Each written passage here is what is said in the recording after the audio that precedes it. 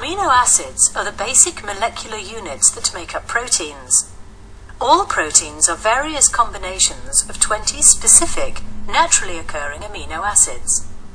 It is as easy to build new proteins out of amino acids as it is to build new words using the letters of the alphabet.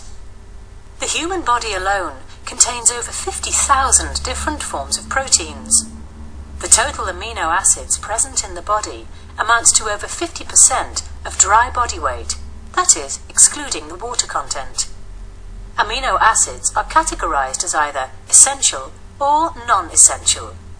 Nine are essential, which means that they cannot be manufactured by the body. The rest are non-essential, which means that they can be manufactured by the body given proper nutrition.